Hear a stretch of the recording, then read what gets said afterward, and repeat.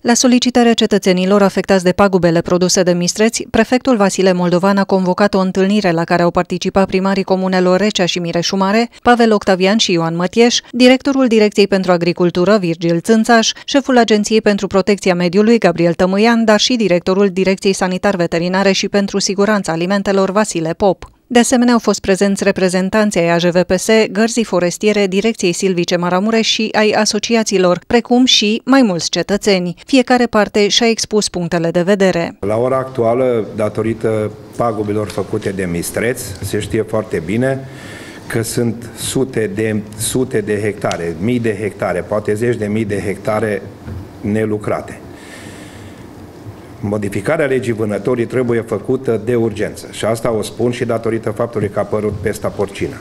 Pesta porcină, până la urmă, nu face altceva decât să distrugă și fermierii producători de culturi cerealiere și nu numai. Ioan Matieș a spus că dacă nu se va modifica legislația prin ordonanță de guvern, o să se ajungă la proteste în fața prefecturii județului. La noi ne-au distrus rândurile de vie, vin și ne mănâncă babele din cotez de la porci.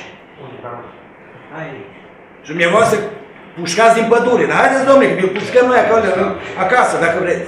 Vi dăm de aici. Până luni, săptămână.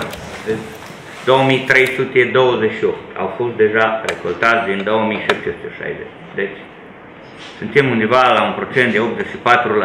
Noi înțelegem această situație în calitate de gestionari. Aș vrea să spun că nu există pe județ un responsabil de toate asociațiile de vânătoare. Fiecare asociație de vânătoare se autogospodărește singură. Deci trebuie înțeles foarte bine acest lucru. Garda forestieră verifică asociațiile de vânătoare, dar Asociația Județeană de Vânătoare și Pescuit Sportiv nu poate să dea ordine sau să verifice sau să conducă celelalte asociații.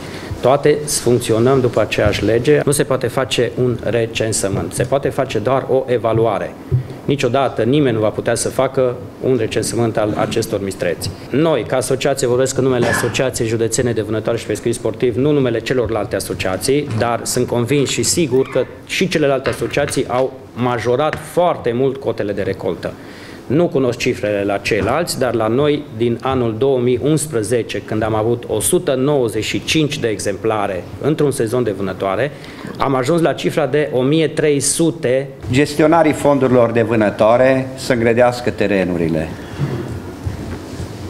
Înțelegeți? Am delegat de... Deci să nu aruncăm noi pe proprietari. E ce să aruncă pe proprietar? Bine, acum legea spune proprietarul trebuie să-și îngrădească terenul, dar trebuie văzut dacă este și alte variante. Întâlnirea a avut ca scop găsirea unor soluții pentru problema mistreților. Astăzi, participanții au propus realizarea unei estimări a numărului de porci sălbatici, dar și majorarea cotei de vânătoare. Totodată s-a luat în discuție să se facă împrejmuirea cu garduri electrice a perimetrelor și redimensionarea fondurilor de vânătoare pentru a nu se include în perimetru zonele agricole. Prefectul Vasile Moldovan a declarat că va fi constituit un colectiv tehnic de lucru care va propune atât proceduri de prevenție, respectiv de acordare a despăgubirilor, cât și de modificarea legislației în domeniu, iar acestea vor fi transmise la nivel central.